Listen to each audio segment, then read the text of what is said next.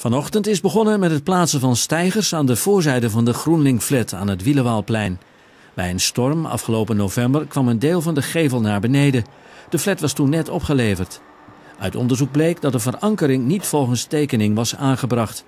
Als de stijger klaar is, worden de hekken verwijderd. De reparatie zal volgens verwachting dan nog vier weken duren. Koningin Beatrix is volgende maand eerder gast bij het jubileumconcert van het Noord-Nederlands Orkest.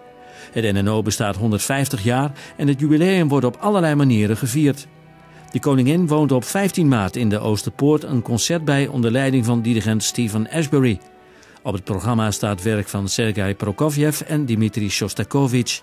Solist is de Engelse violist Charlie Seam. De keuze voor deze Russische componisten heeft te maken met het vriendschapsjaar van Nederland en Rusland. Dit jaar worden de 400-jarige betrekkingen tussen beide landen gevierd.